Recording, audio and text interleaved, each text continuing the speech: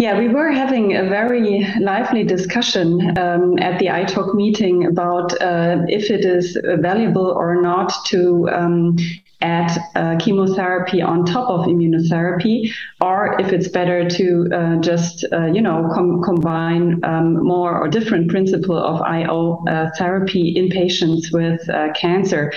And this was um, an interesting discussion um, since, I mean, the, the pros of, of combining these modalities are clearly uh, that, that you um, uh, are able to quickly uh, eradicate tumor cells that produce um, potentially immunosuppressive agents and that you can also eradicate um, immunosuppressive uh, immune cell subsets as well. On the other hand, of course, uh, the argument is that um, uh, if you, you know, uh, kill the immune effector cells, the T cells, with the chemo component uh, that you apply at the same time as you apply the IO, uh, then you might um, get get a problem with the effect that these cells have to um, induce in the patient.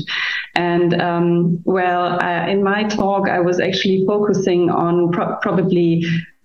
very, very strong clinical endpoints in the clinical trials um, rather than discussing the biological rationale because, uh, you know, uh, there, there might be very um, or many arguments pro and con, but in, in fact, uh, you only see um, uh, the, the most valuable approach if you apply it in patients and do the readout um, of overall survival, progression, progression-free survival,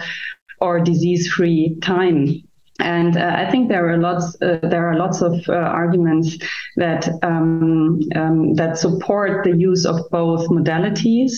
Uh, and I think the common ground that we found also with uh, the other discussant uh, was that it might be um, most beneficial if you apply these two um, um, modalities uh, in a sequential type of approach so that you kind of don't risk to lose the effect uh, since you apply the IO component after chemotherapy. And there are a lot of trials uh, that actually show uh, that, that this is working uh, from urothelial cancer to esophageal uh, esophagogastric cancer um, and other good examples. So I think this is something that we kind of concluded from the session. There was a lot of discussion around the, the question um, how could we eventually also um,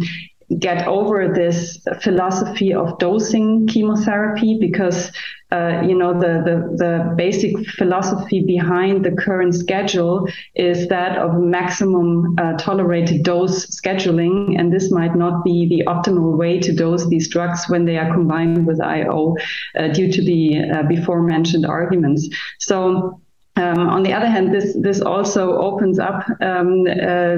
a discussion that we have to um, that, that that yeah we have to kind of